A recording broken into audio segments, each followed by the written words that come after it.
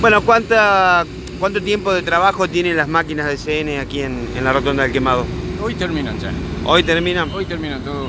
Terminan todo lo que es a Azucena Maizani y terminan toda la arteria. ya.